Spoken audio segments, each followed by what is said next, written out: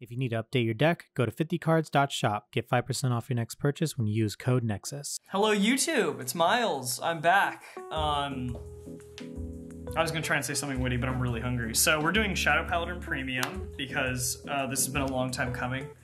Um, this is Luard. It always is. You're never gonna see another Shadow Paladin Premium deck profile on this channel, uh, probably. Challenge accepted.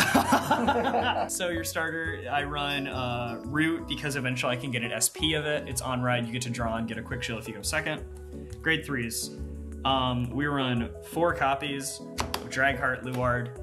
Uh, this should be obvious, um, even though I know in previous deck profiles I've done like the you know G Luard, but um, after careful consideration and months of um, training in the mountains, I came to realize that a 13k base grade 3 that actually lets you do something on turn 3 going first um, with you know a force gift is actually unquestionably better. So you run that. Um, its main skill is uh, you can return two grade one rear guards, or wow, you can retire two grade one rear guards, um, draw a card, and I believe you get to retire one of your opponent's rear guards. Yeah, so like it's nice that it actually has some degree of control. Uh, but its second skill is uh, you can counterblast three. Jesus Christ, what is it? Yeah, Counterblast 3, return two normal units, and then you get to ride a grade 4 from your deck or your hand. I barely use this skill. Return two normals to the drop, search your deck for one drag driver Luard, write it. Yeah. So you specifically search out drag driver and then you ride it. And then at end of turn, you ride back down um, to this guy. So that turn, you are getting three force gifts, which is just really good as a turn one. Um, probably wondering, the fuck does drag driver Luard do? And the answer is we run two of it. Um, but his skill is uh, so his second skill, which I guess we'll go into first, is when you place it, counterblast one. For every Luard in your soul plus one, search your deck for that many grade ones, call them to the board. So board fill, really good for your first. Uh, like again, the fact that you can do something. Can you turn that off, please?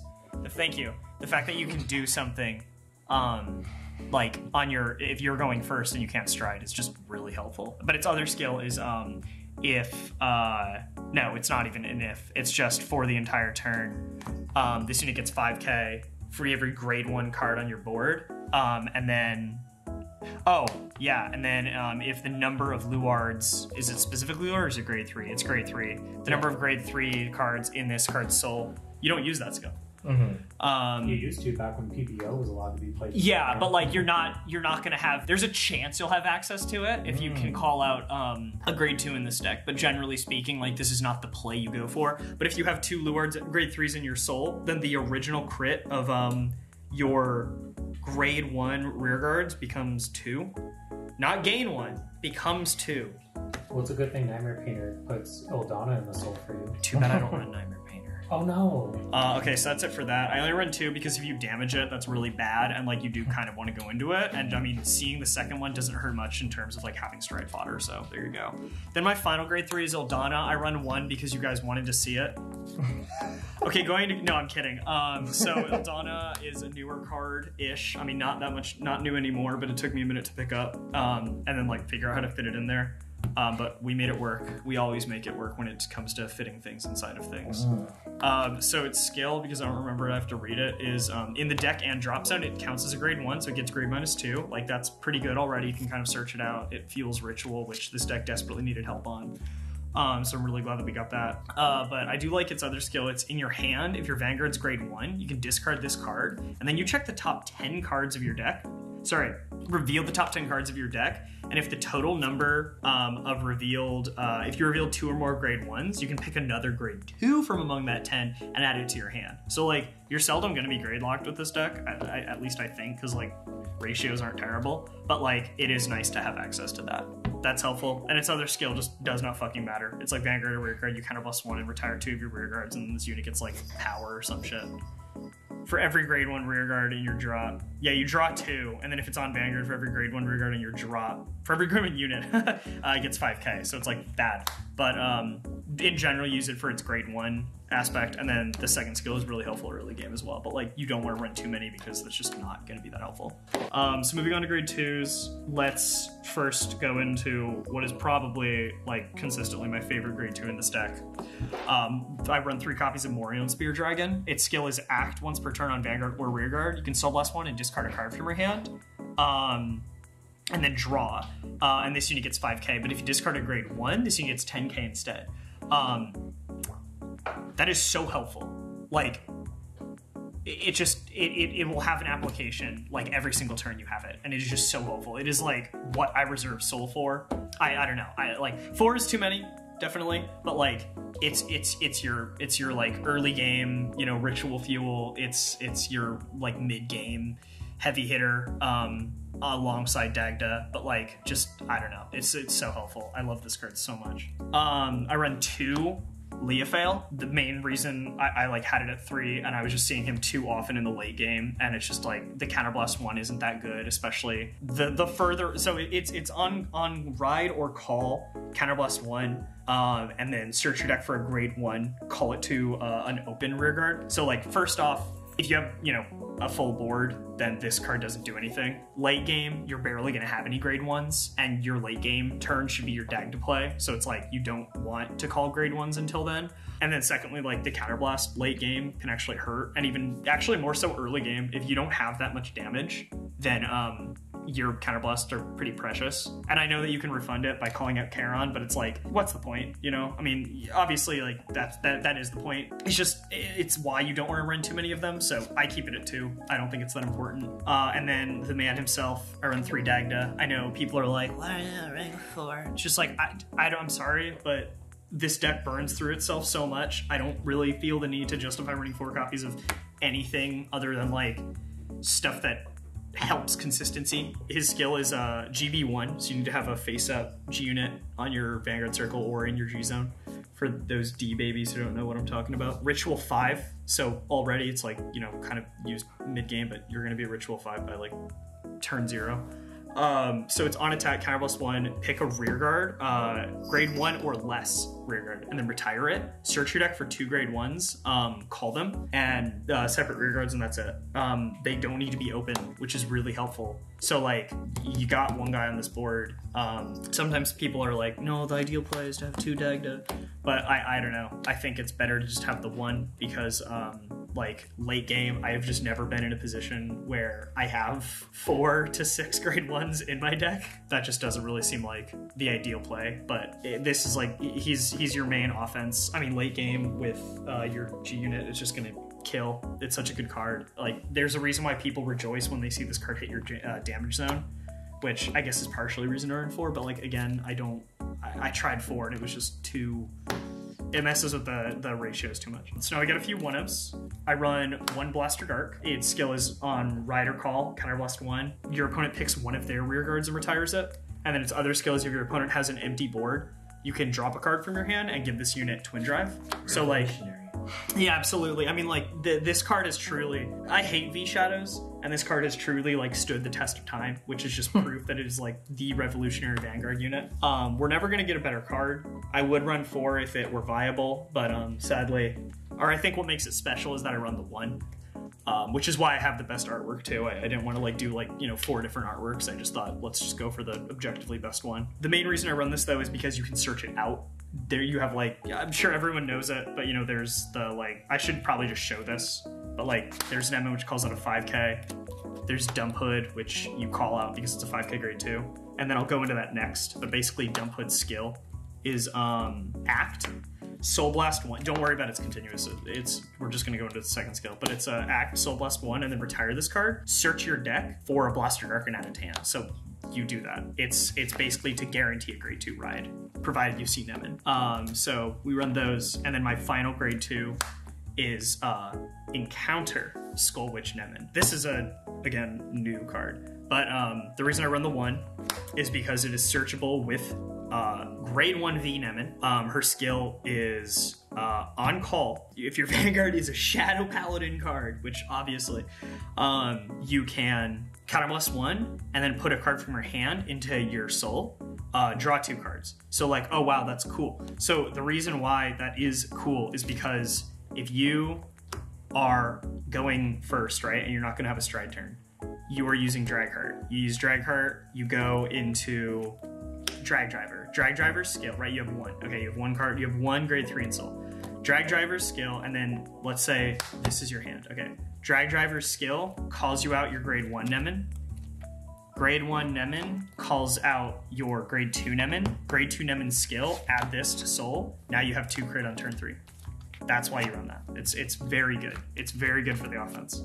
That is vitally important. I mean, like, it's not the play you want to go for. It's literally just there in case you go uh, first, but also like drawing two cards in a deck where you really want to draw cards is very helpful. So anyway, let's go into our grade ones now. I'll just get this out of the way right now, but I run the three copies of Skull Witch Nemain. At this point, it's pretty obvious what it does, but her skill is uh, you can rest her, um, search your deck for any 5k power unit, and then call it. You can only use this skill of the card Nemain once per turn. So, um, like, you can't do like a Nemain into a Nemain into a Nemain. You just get the one. Um, and of course, I have to run it three because I run a fourth copy of a card with the exact same name, but that's okay. I actually never ran four to begin with. Three, Cherishing Knight Branwen. So this is like your grade three searcher. Um, it's on call, you know, check top five for a grade on call or ride, check top five for a grade three, add it, and then you have to discard a card from your hand if you see it. Its other skill is uh, if the number of grade ones in your drop zone is three or more, then this unit gets 5k, which actually, funnily enough, it's like one of your primary, I mean, it's your primary Dagda target, and because it has to be called from hand to do the um, search, you're not gonna like fuck up your stack or whatever by calling with Dagda. So it's just a very good uh, very offensive card. I think it's another one that I would run four of if I could like tweak the um, tweak the ratios, but like kind of figured I don't need to um, because just this deck works out really well with how I've had it. Uh, if you want to run four, go for it. Uh, I run two Black Sage Charon. Um, his skill is uh, when it's placed by the ability of a card. Uh, you can Soul Blast one, countercharge one, and then this unit gets 3k. So, like, again, you can refund Dagda's cost, you can refund Leofail's cost, you can make it an 11k for, like, you know, hitting I don't know, some kind of number. it's not gonna that's not gonna be too much of a difference. Um, I have seen people run it at one because you can you know send it back. Um, I'm always just scared of like getting it damaged um, or you know sending it to the damage zone. Uh, but if you really want to up Branwen to four, this is the card I would recommend dropping to one. I don't really think there's much open space elsewhere. Then I run two Blue Espada Dragon. Um, this card I think was like slept on for a while. People run it now, and I'm very happy about that because I love this card. So its skill is uh, when written or placed, not from hand, just anywhere, you mill the top three cards of your deck. If I believe all three of them, no, I'm sorry. You check the top three cards of your deck and you add either one Claret Sword, which is a grade three you don't run, so don't worry about that, or one Morion Spear. So it's another grade two searcher, which is very helpful. You add that to your hand and then you drop zone the rest. And then if you, the number of cards in your drop, the number of grade ones in your drop zone is uh, five or more, this unit gets 10k. So like late game, that's guaranteed because obviously, and this uh, Dagda calling out Espada is so good because with uh, Morfessa, it's going to be at a plus 25k, so it's a it's a 33 grade one alone, and you're going to have that for that force marker on board. And what's not amazing is uh, on your final turn decking yourself out, so be careful. And then I run one copy of Abyssal Owl. Um, its skill is on Vanguard or Rearguard when it's placed. You counter bless one and draw, but if your opponent has the same grade as your Vanguard. Uh, if you and your opponent's Vanguards are the same grade, you can Soul Blast one instead of Counter Blast one, so that, that's kind of nice. Um, it's a 5k mainly, that's why I run it. Uh, the skill isn't too good because, like, because most of the time that you're calling it, it it's going to be on a turn where you are uh, on your grade four, meaning, you know, you're not going to have the same grade Vanguard. Um, so like in the late game, it actually does not do anything because you don't want to waste that counter blast just for a single draw. Early game, it's nice. It helps if you are one going second. You know, you get that extra card for almost for free. You can soul blast out your grade one to do some early ritual. But like in general, it's nice that it's just a 5k. You can just remove it from the deck ASAP and deck thin um, and then just try and get it into your drop set for ritual as soon as possible. And then finally, for when we run four PGs, uh, Drag Saver Esras. Um, this is like one of the last decks I think that runs grade one PGs because it's so good. Uh, so its skill is obviously the regular PG effect. Um, but its other skill is in the drop zone, GB1 and Ritual 3. Retire one of your rear guards, send another copy of Esras to the bottom of your deck, return this card to your hand. So it's a recyclable PG that trades out a PG into your deck and then also returns a grade one back there for ritual. So it evens things out. Late game, when you're going to be using it, you're not really hurting yourself with that like minus one grade one for ritual. I promise you. But in general, it's just a very nice card to have. Um, also, just saying this now, but late game, if you are trying to push for game, which you should be, because this deck cannot survive after like turn four. I guess no deck can survive after turn four in premium. Um, don't be afraid to call this out with your Dagda because it's the difference between life and death. anyway, there are your grade ones. Let's go into triggers. Uh, we run one over trigger Olbaria because two cards getting 100 million power makes everybody angry and it's funny. This deck also runs gen triggers.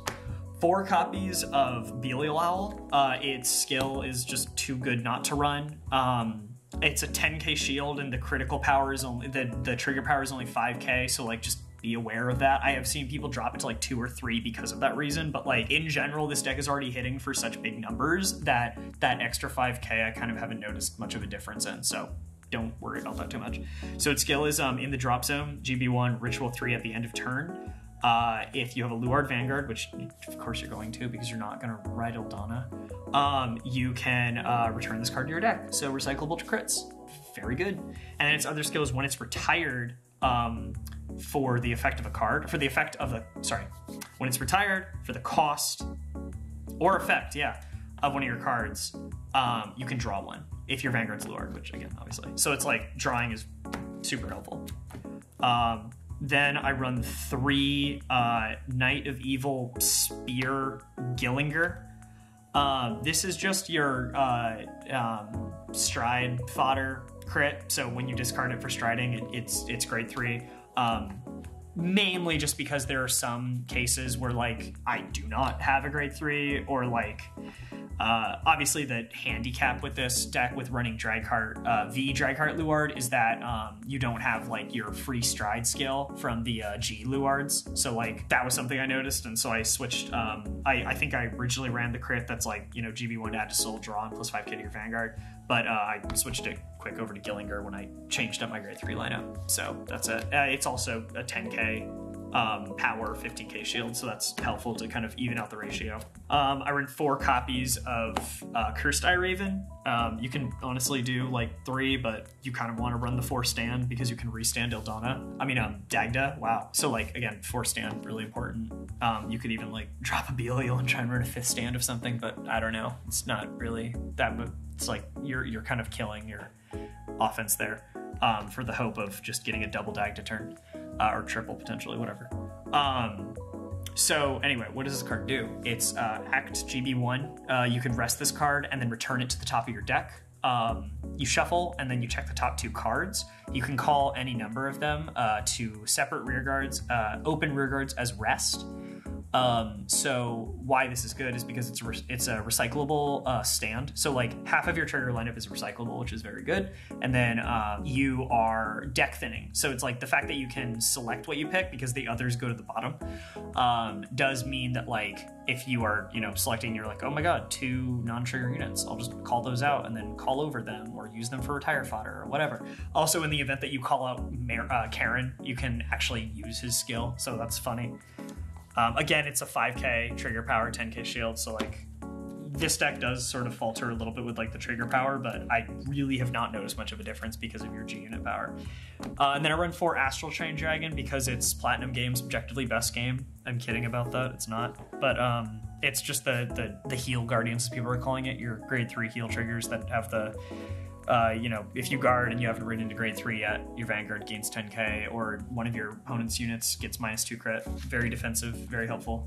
Also, strike fodder. It's also stride fodder, and you can search it out using Branwen. Uh, I run an SP Quick Shield because for a brief time there, I loved this game enough that I dropped money on this. Mm. And let's go into G units. Um, we run three. I completely forgot that this is her name. Drag Principal Morfessa. Um, so this is your main card. I genuinely have not had a game where I've like not gone into her. Well, I have, but this is your main stride. So her skill is great. Um, it's act once per turn. You can counterblast one and uh, flip it any G unit face up.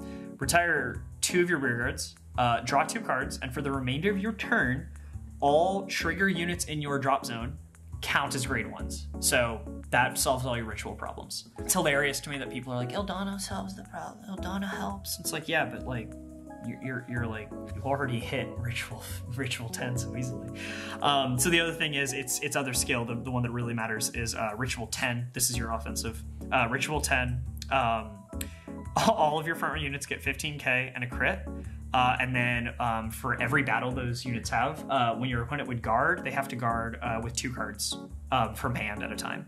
So just incredibly helpful. You can win by like your first stride. I mean, if that's not enough, you go into your and you survive the following turn, which hopefully you do. Uh, your second stride should kill it. But like this, on top of Dagda, on top of Blue Espada, is just such a killer. Like it's it's such a good card. Um, then I run uh, two copies of Dark Dragon Phantom Blaster Diablo, the the classic. Um, the reason you run two is because you're really only running one. Um, he has to flip himself for his skill, but it's uh, Counterblast one, flip a copy of itself, um, and then it gets 10k and a crit. Um, and then I believe is that what? It, no, no. You specifically you need to have two face up or more G units. Um, so this can't be like used turn one or whatever unless you G church first stride unless you G guard it. Whatever, don't worry about that. Um, it gets 10 kin a crit, and then when it attacks, you can retire three of your rear guards. And if your opponent doesn't retire two of theirs, uh, they can't guard from hand, or is it period? Uh, they cannot call guardians from hand uh, for that battle. Um, it's it's not that useful anymore um, but like in general, you are always trying to go for a game with Morfessa because that's just such a much better card. That this card is mainly used in the off chance that like Morfessa isn't enough, but um, or like you can't go into Morfessa for whatever reason. But um, you use this when your opponent has like little to no field because then it will actually matter. So just two of those. You don't need to use it more than once. Uh, I run two copies of Dragabyss Luard. Uh, I like this card mainly. Um, well, I'll go into its skill first and then explain. But its skill is uh, once per turn, you can Soul Blast one and then flip a copy of itself face up. Choose uh, uh one of your rear guards and then retire it. And um, you get to uh, search deck for up to two grade ones, call them. Um, and then if both of them had the ritual ability, you uh, can pick one of your opponent's rear guards and retire it. Its other skill is GB3 uh, Ritual X, uh, all of your front row units get plus 10k for every uh, four grade ones in your drop zone. I really don't use it for that skill anymore. That was kind of a G era thing. But um, the main reason I run this card is because there are some like very awkward games where your first stride, you can just look at the setup and you're like, I know I'm not going to hit Ritual 10 with Morfessa. So I kind of go into this as like a little like, well, you know, it is the one like first turn G unit that can kind of do something, um, or at least it was for a while. Uh, because it can set up a board, it can kind of make some plays. It's just it's a safe option. You're not risking anything by retiring one grade one. Um, I run one Dark Dragon, Chain Ranker Dragon. So uh, its skill is that um, uh, it gains the abilities, the skills of uh, its heart. So um, not that that matters too much, but like you can technically hard ride Drag Driver Luard before riding this, and then you'll gain the uh, the crit to your front row, uh, or the the two the two base two crit skill. Uh, but I mainly run it for its second skill, which is GB3. Um, for every battle, uh, if you have uh, three or more grade one, um, grade one or less units on your board, uh, for every battle, um, when your opponent would guard, they have to guard three cards at a time. So like it's not necessarily as good as Morfessa because Morfessa also has the power bonus, but it is kind of there as sort of like a fun, like, you know, a little style win. I've like tried to go with it for game and it's worked a few times, but like in general, if you are trying to go for game, you should be using Morfessa. But um, there's a lot of leniency in this deck's G zone because of just how objectively better Morfessa is than everything else. So like I do run the one as a sort of like alternate kill option. Um, similarly, I run one uh, drag angered uh, Ogma, Um, this is more of a control card. Its skill is Ritual 5. Uh, once per turn, you can counter blast 1 and soul blast 1. Pick any number of. Um, oh, and then you have to flip a G unit. Uh, pick any number of your rear guards uh, and retire them. And then your opponent has to uh, retire or discard that many as well. Um, so, like, if they have low hand and low field, you can kind of like nuke your board and then destroy your opponent's resources. Um, I'm gonna be real, I have never used this card. It is mostly there for flip fodder, but because it requires very little and can stand on its own, um, I run that over like other options because it's just kind of like, to me, the most, um, you know, better to need it and, uh, or better to have it and not need it than need it and not have it mostly. Uh, and then I do run one Dark Knight Crow Croc. So this is a newer card. Um, it is now your alternate option in the same way that Dragabyss Luard is your alternate, but I, I think it's better. Um, so its skill is uh, once per turn, um, you can retire two of your rear guards, and uh, your opponent has to choose three of their rear guards um, and retire them. Which, like, wow, that that's that's good. Uh, but then also, um, if they did not retire three, then uh, this card gets the ability where once per turn at the end of its battle, um, you can counterblast one and then retire another two rear guards to restand this unit, um, and then it gets 10k. So just a very nice like early game option. It's not dependent on any ritual count, um, and just having a restanding G unit on your first stride can actually be pretty threatening. Uh, so I do I do like this card. I would not run it more than one of because at that point you are probably nuking too much of your board, or like if you have not if you're not in a position to go into Morfessa on your second stride, then you deserve to lose. Uh, let's go into G guards. Uh, I run one copy of Dark Dragon. Um, I, thought, I thought that's a dope Griever, Deep Griever Dragon. Um, this card's awesome. I think it solves like the main issue with this deck. Uh, so when you guard with it, um, you choose up to five grade ones uh, from your drop. Um, not Grimmer or less though, which is a little bit of a bummer, but I guess that would be too broken being able to send back five triggers. Um, and then okay, so I'll just restart Yeah. on this.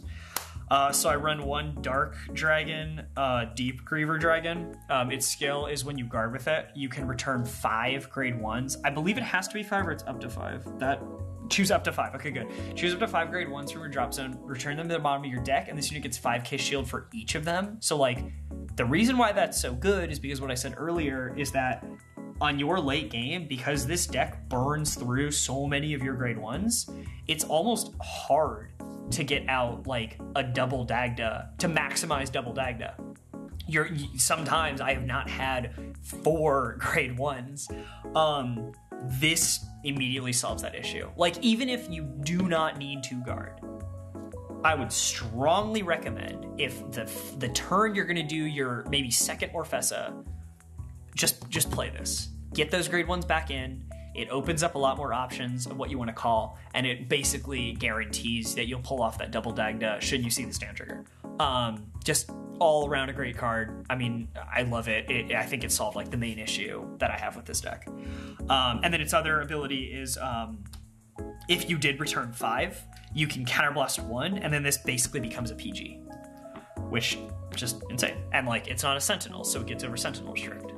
Great card. Uh, then I run one uh, Witch Queen of Iniquity, Jolito. Uh, this card has saved my ass more times than I think I can count, but I love her. Um, so her skill is uh, when you guard with her, uh, GB1, um, you pick a G Guardian and uh, flip it face up. Um, choose up to two of your grade one or less rear guards, and then move them to Guardian Circle. Which cool ritual fuel. Uh, but if you moved exactly two, then you get to draw. In a state of the game where so many things have like, you know, the battle door or the triple door or whatever, like guard two or three at a time, this is actually like won me the game maybe more times than I than like other, you know, G guard that are like on paper better than this. Um, and because of the flip, of course, you only run the one. You're only probably going to need the one, but just an insanely helpful card. Um, then I run three Dark Dragon Plotmaker Dragon. This is our tried and true uh, big boy of power. Um, when you guard with it, Ritual three plus 10k shield. I mean, like it's it's so simple. It's just so like the 25k can be so helpful. That's basically it. And then I run one Dark Dragon Darkfield Dragon. Um, when you guard with it, Soul Blast one. Uh, this unit gets 5k shield for every um, two grade ones in your drop zone. So like late game, this actually can become, I mean, just huge. Uh, so in the event that you're getting hit with something, you know, very uh, high in number, it, it becomes a huge like clutch defense. Um, so that is basically the deck. Uh, let me know if you have any changes. I've been playing this for a very, very long time. Too long. I, yes, much, much too long. So much so that for the first time in forever, I entered with a completely different clan um, for uh, uh, for regionals because I was like, I want to mix it up for once. So um, that's the deck. Let me know how you guys liked it, and uh, you know, um, pop a little bottle of champagne in the comments for me because you know I, am I'm finally back with a Shadow Paladin deck profile after all these uh, millennia. And I know it's what you all guys wanted. Yeah, I saw that recently. He's got Luard. Luard's got a little. Uh, he's got a little femininity in the style. I love it. All right, y'all have a great night. Goodbye.